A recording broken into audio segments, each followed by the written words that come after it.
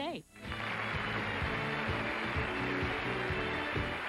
Why just watch television when you can play from home? Game Show Network. Buzz your cable company to get in the game.